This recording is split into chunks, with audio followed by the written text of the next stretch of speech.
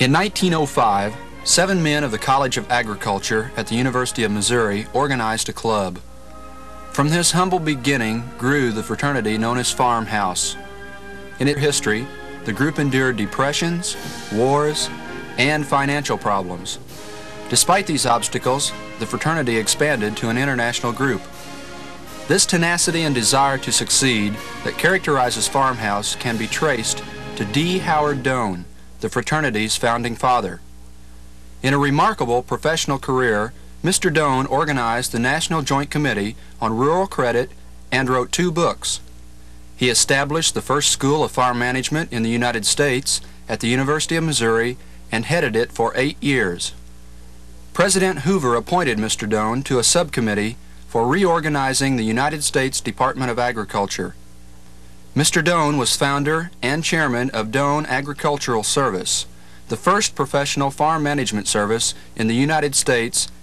He also helped to found the 4-H Foundation of Missouri. After his retirement, he established a school of agribusiness at the School of the Ozarks. Today, we want to ask Mr. Doane about the early years of the fraternity and his hopes for it in the future. Mr. Doane, what was the original purpose of the group that became known as Farmhouse? I think our basic idea in the beginning was friendship, fellowship, the effect of having a part with a group of men that were sincere, desired to accomplish what they went to the university to get, and creating an environment that it made it easy to try to do a good job yourself.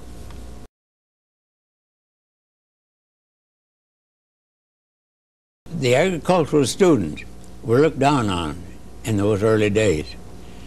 And uh, I want to give the group a, a pat on the back for the sensible way in which they handled that situation. And out of that came, well, it's just a bunch of farmers. And that was derision. That's the one thing you shouldn't have said. And we said, well, we're proud to be farmers. Let's call ourselves farmers.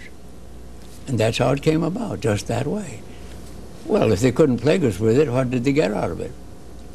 And uh, to make sure that they'd pick us out, why we we got a, sent away and got a bunch of broad brim hats, no other on the campus like it, and we were definitely stamped. But we were proud of it, and so the plaguing just disappeared. and that was a very satisfying experience. Yes, I'm a farmer. I hope you can see it. Every time you see a hat like mine, that's another one.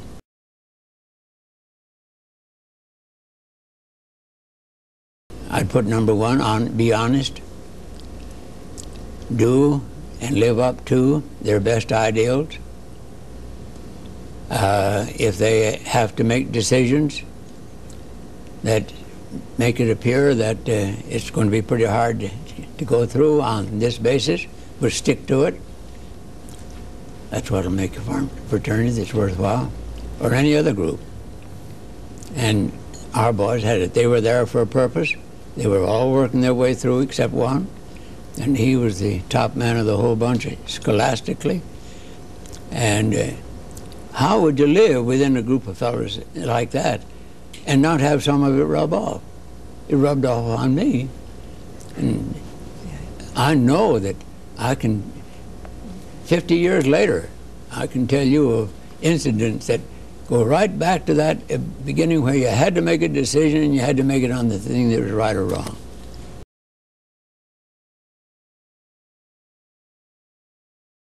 Farmhouse has probably played one of, if not one of the half a dozen influences on my life that has stuck with me all the way through and has always been a help. It's never been an influence that pulled me down or finding shortcuts uh, to get around a rule or to undertake uh, something that wasn't quite up to par. If you're a farmhouse man, you do it honestly, you do it right, and you do it pleasantly. And you can't go very long if you believe that and live it. can you?